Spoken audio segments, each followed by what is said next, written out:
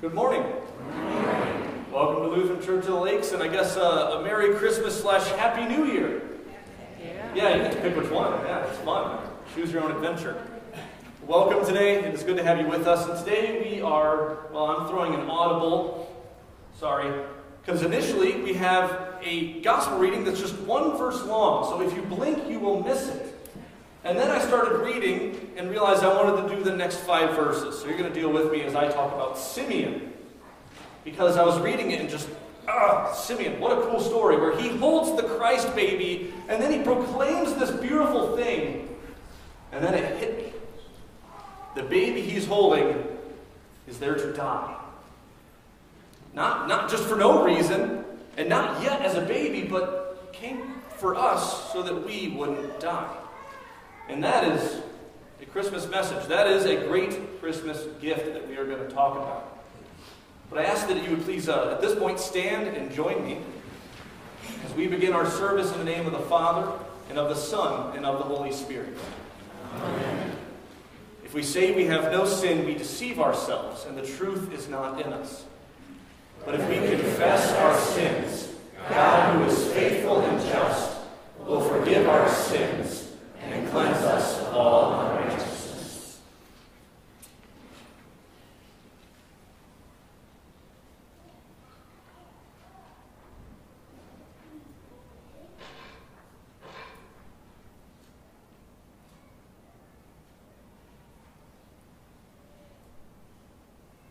We confess.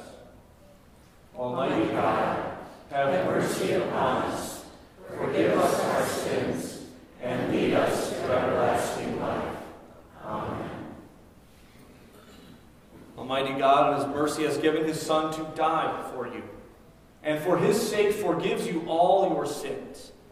As a called and ordained servant of Christ, and by His authority, I therefore forgive you all your sins in the name of the Father, and of the Son, and of the Holy Spirit. Amen. O come,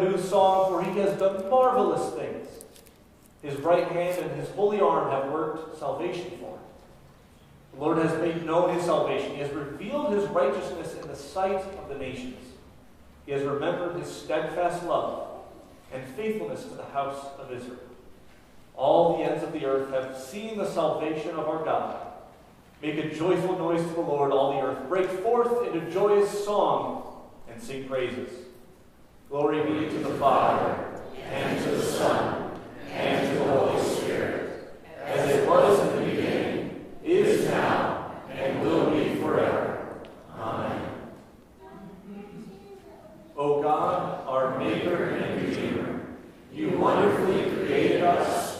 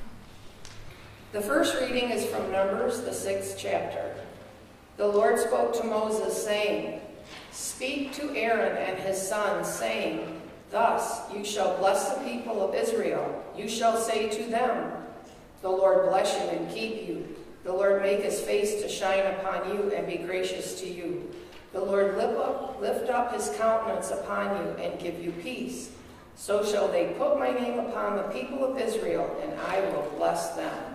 This is the word of the Lord.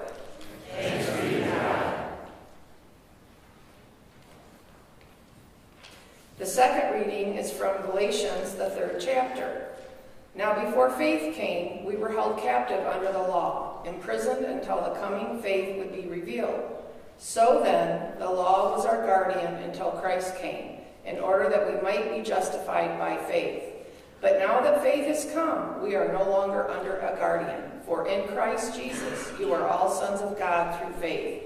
For as many of you as were baptized in Christ and put on Christ, there is neither Jew nor Greek, there is neither slave nor free, there is no male and female, for you are all one in Christ Jesus. And if you are Christ, then you are Abraham's offspring, heirs according to promise. This is the word of the Lord. Please stand for the reading of the gospel. Like I said, don't blink. The Holy Gospel according to St. Luke, the second chapter. And at the end of eight days, when he was circumcised, he was called Jesus, the name given by the angel before he was conceived in the womb. This is the gospel of the Lord. Please be seated, and I invite the children to come forward for the children's message. Good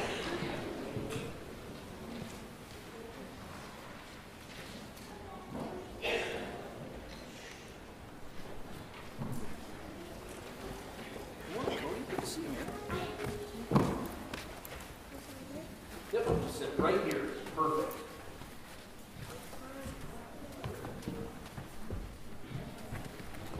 Hi, guys. How are you doing? Did you have a good Christmas? Awesome. I am so glad all of you are here. Oh, come on, Tris. Come on. He's coming. All right. So I was going to go steal my little baby girl. Have you ever held a baby before? Sit right there. Some of you, maybe raise your hand if you held a baby. Some of you, some of you, let's see, mine might be the youngest. Imagine he was even smaller. What do you think babies can do?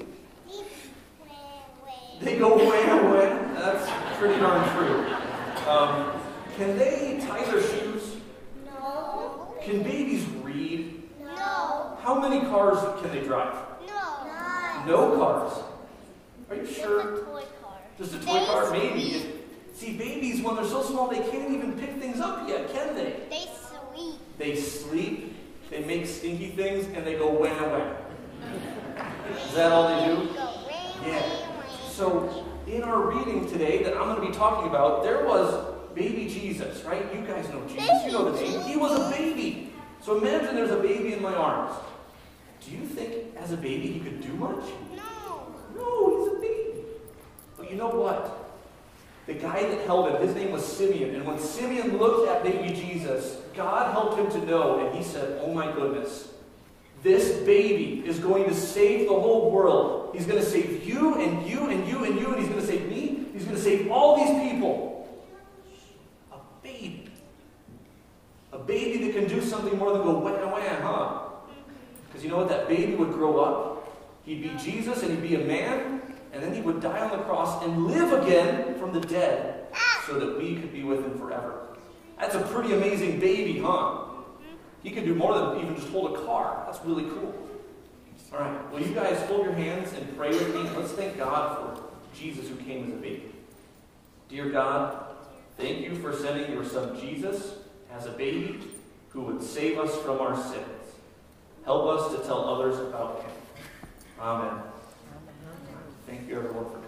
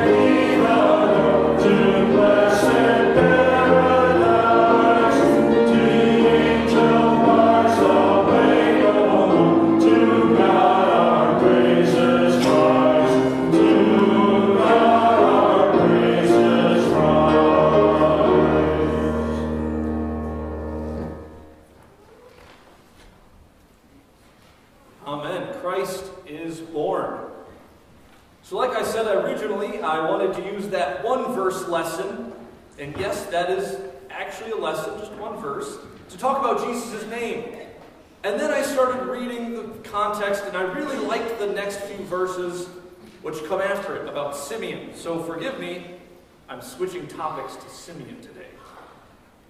Simeon was a devout man at the temple. He was promised by God to live until his eyes gazed upon God's salvation. So he knows he's going to be kicking around until he sees the Messiah. Well, then, of course, Mary and Joseph bring Jesus to name him, to give him the name Jesus, which means God will save, which is very apt, and to come to circumcise him at the temple. And of course, as they do, they bring a sacrifice for Mary's firstborn son. And of course, at the temple, this devout man, Simeon, meets them and holds the Christ child in his arms. Now, at this point, whether they know it or not, the light of the world, the light of the Gentiles, and the glory of Israel is right there. The entire plan to redeem God's people and his world is in that swaddling cloth. God's Son has already come and become incarnate in flesh, and now Mary is bringing her Son to the temple, to the house of God, where in just a few years he will return. But right now he is brought, according to the custom of the Torah, as is the duty of the parents, and they meet Simeon. And Simeon is there simply waiting. He's waiting to see what God had told him. He will see the salvation of the world. Luke describes him this way There was a man in Jerusalem whose name was Simeon, and this man was righteous and devout, waiting for the consolation of Israel. Simeon's job was to wait, to just hang out. And upon seeing the Christ child and holding just that little days old boy in his arms, Simeon immediately knows. He immediately knows as his eyes gaze upon the child that this is it. And so he says, My eyes have seen your salvation, that you have prepared in the presence of all peoples a light for revelation to the Gentiles and for glory to your people Israel. Now, we've heard from the angels in the fields, right? The ones that scared the snot out of the shepherds. They came, and then they told the shepherds, go find him. And then the shepherds found Jesus. And they praised him and just wondered in awe. And now we hear the gospel proclamation of Simeon as people continue to welcome their Savior into the earth. As gospel proclamation as Simeon's song, as it's come to be known, was, I think I want to consider it right now to be an announcement of the beginning of the end. That his waiting is over and the end has arrived. Things are going to heat up really fast. Luke wants us to know that the Savior is in the world. So, just in the next chapter, just a few verses away in chapter 3, we are already at Jesus' baptism. We see the beginning of his ministry. Now he's resisting Satan in the wilderness. He's healing people, bringing people from the dead, giving sight to the blind. Man, things are moving fast all of a sudden. He went from being just a baby to a man. Where in the world did 30 years of Jesus' life go? Where's the parts about the teenage, awkward stages and all that? Well, let's keep in mind that for Luke and Simeon and all the people of Israel, they want to jump to the chase. Because this has been a long, long wait. I mean, consider how Simeon, and for that matter, all of Israel, has been hearing the prophets. They've been mostly believing the promise of God, and they've been waiting for the Christ. Always waiting. I mean, it's been hundreds and hundreds and hundreds of years since their father Abraham was called and given the promise. And even before him, it was hundreds and hundreds of years before that when Eve received the promise of a son who would come. It's been a long wait, guys. In fact, waiting was so important to the Israelites that it kind of became part of their DNA. In fact, God instructed the parents and grandparents tell your kids and grandkids that they are too waiting just like you. Tell them what they're waiting for the Messiah. Tell them to wait. He's coming. It was part of being an Israelite to wait. And now, guess what? Simeon says, Redemption's here, everyone. The waiting is over. Let's jump to the chase. And that's why Luke is all of a sudden talking about who this Jesus guy is and what he is doing, so that he can prove, without a doubt, the wait is over. Now, I don't know about you guys, but for me, waiting is really, really hard. I'm going to assume it's true for you, and that if it's not, well, I don't believe you. Waiting for something to find out that it's really, really lame? Oh, that's unbearable. Thankfully, the Christ child did not disappoint. That's what Luke is getting at. Don't worry, guys, it wasn't a lame duck, it worked. This is the guy. Because for a long time, Simeon had been waiting for the consolation of Israel, just like Israel had. So when he gives these tidings of comfort and joy, he's giving this proclamation to a people in bondage. They don't want to get their hopes up for nothing. I mean, think about it. Israel's history, well, let's start with Egypt. How did Egypt go? It started off pretty well, and then it got really rocky as they became literal slaves to the Egyptians. Well, it got a little better. God took them out of Egypt, gave them some land, and whoops, they're already forgetting God and making golden calves to worship. They're back into bondage again to false gods. Well, now, after 40 years, they're in Israel, and what do they find? Hey, the people already living here have gods. Close enough. Always, always in bondage for new bondage, finding new master after new master. They've been waiting for someone to free them. And yet, Simeon points out that it's not just the Israelites. He doesn't say this is only for Israel, he says it's for the whole world. Because the whole world is in bondage as well. The Apostle Paul calls it sin. Very simply, he says we are slaves to sin. And under this master, there is but one ending the pain of death. Simply, the wages for people who work sin are death. So, all of the people in the world, us included, open your hands for the paycheck of death. That's what we had. But in Christ, our sentence was served.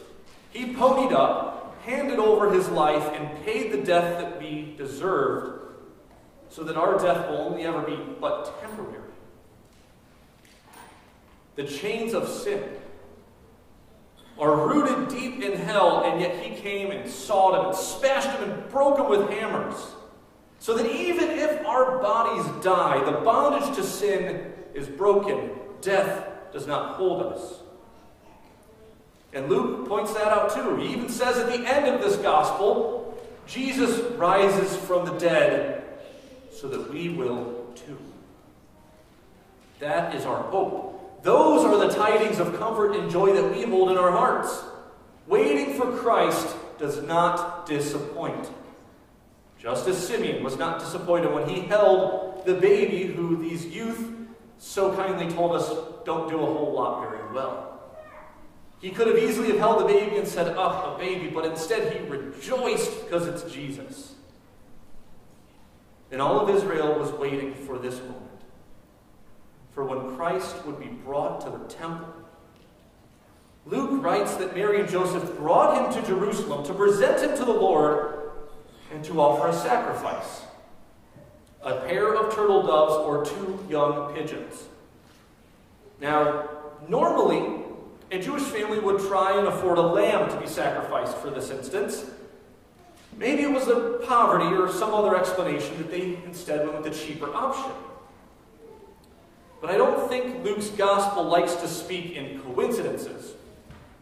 Instead, Luke really likes to point out God's ironies that he built into the Christ story.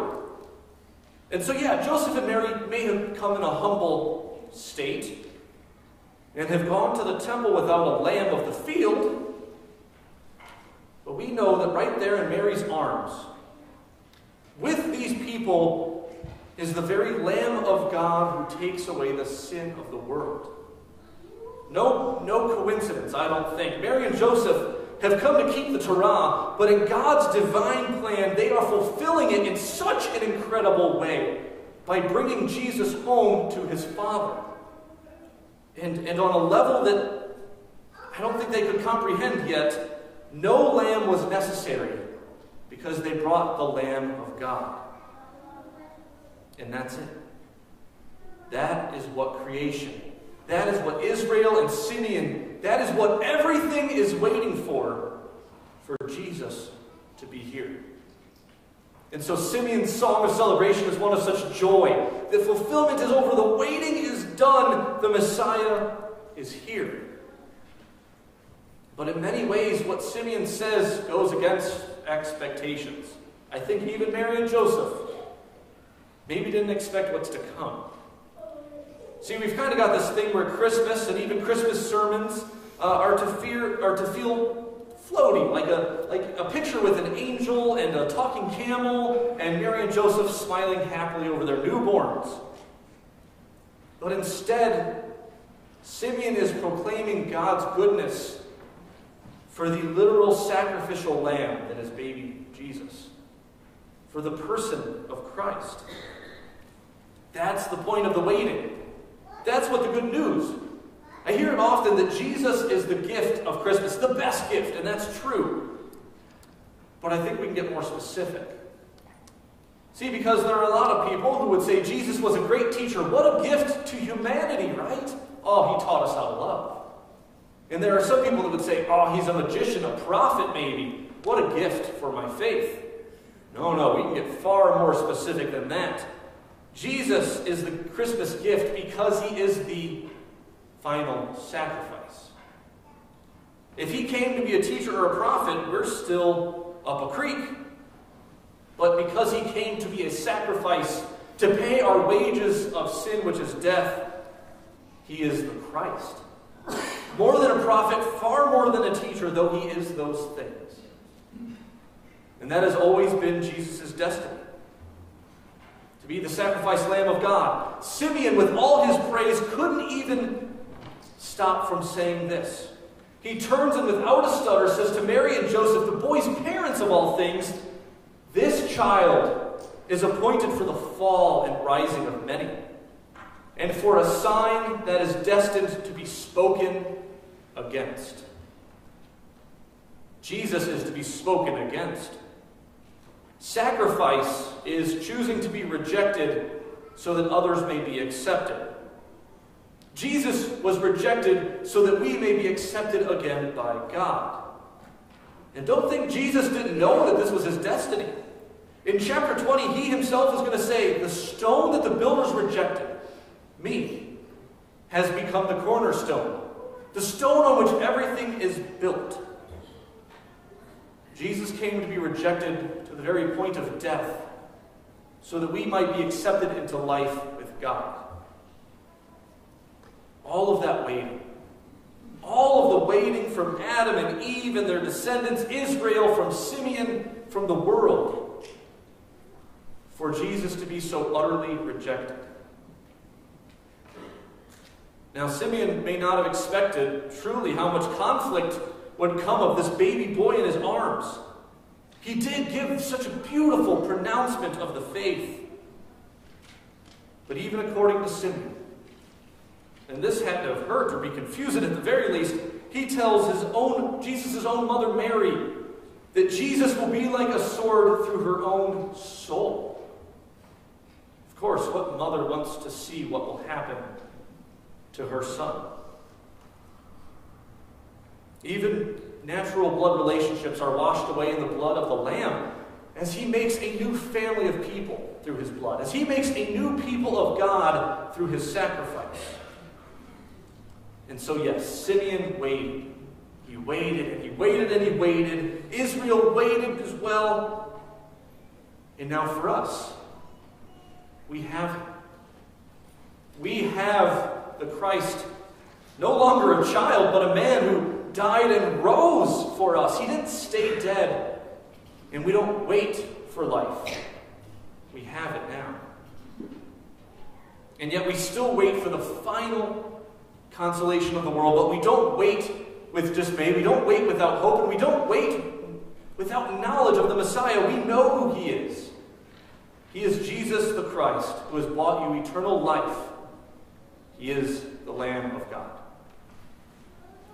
Now I pray, may God, who has carried you all into life in Christ, help us to faithfully wait for his return, just as Simeon so faithfully waited. Amen. I invite you to please stand and join me as we confess our faith in the Christ through the words of the Nicene Creed. I believe in one God, the Father Almighty, maker of heaven and earth, and of all things visible and invisible, and in one Lord Jesus Christ, the only begotten Son of God, begotten of his Father before all worlds, God of God, light of light, very God of very God, begotten, not made, being of one substance with the Father, by whom all things were made, who for our sin and for our salvation came down from heaven, and was incarnate by the Holy Spirit of the Virgin Mary, and was made man, and was crucified also for us under Pontius Pilate. He suffered and was buried, and the third day he rose again, according to the Scriptures, and ascended into heaven, and sits at the right hand of the Father. And he will come again for glory to judge both the living and the dead, whose kingdom will have no end.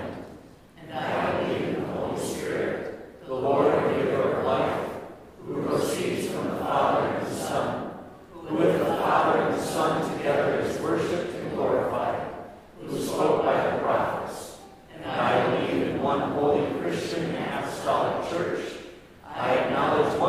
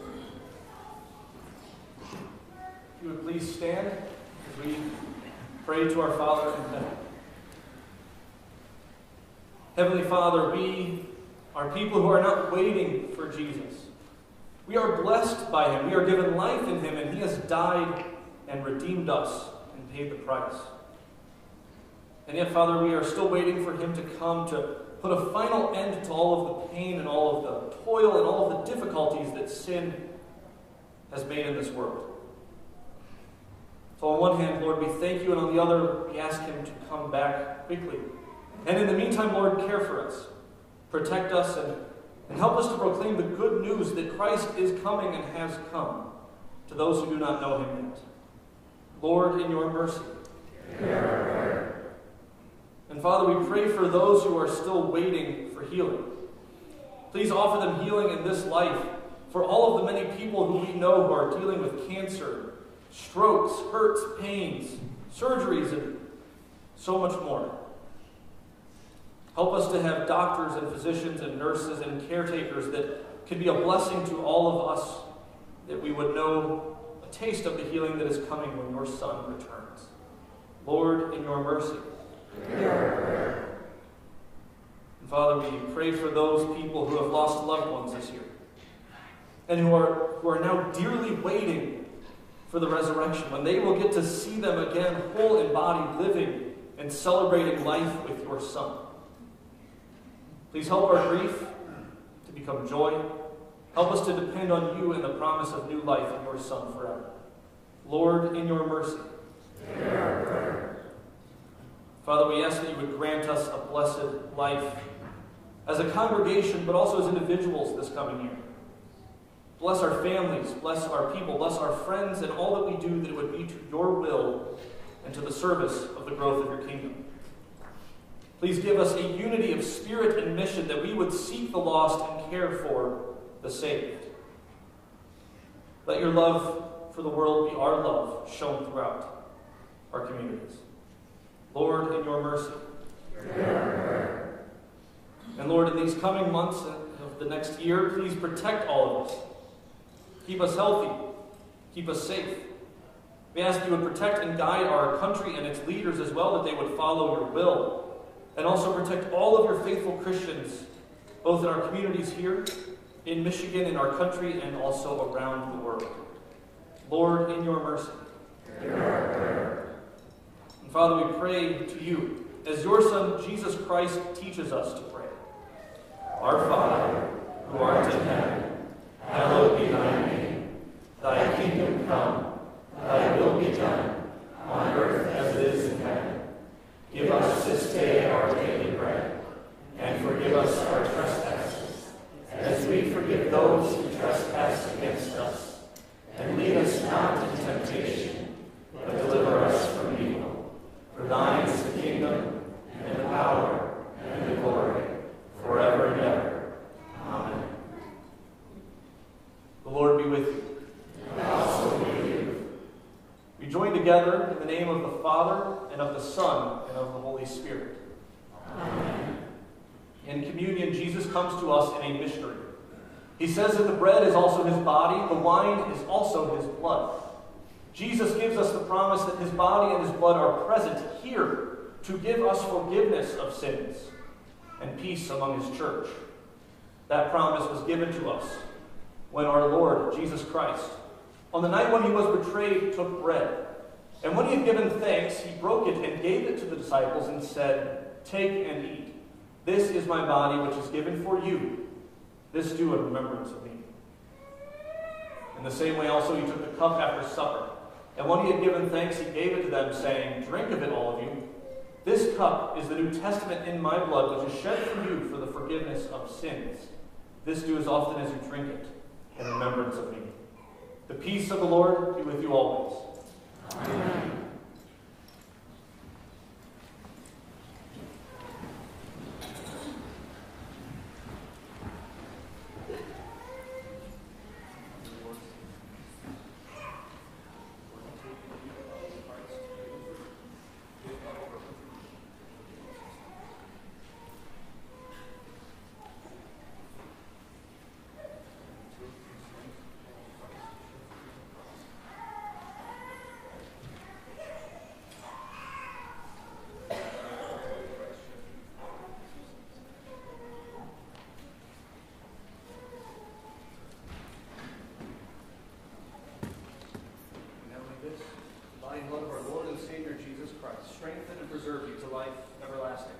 Go in his peace.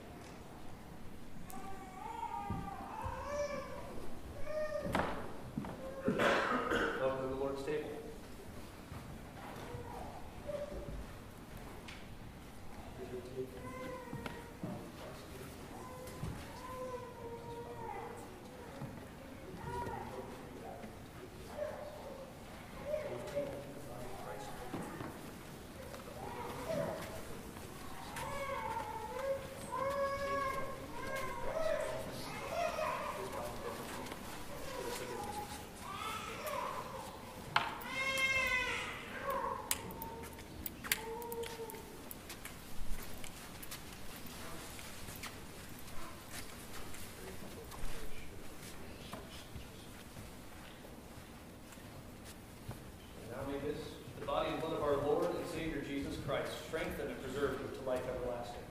Go in his peace. Amen.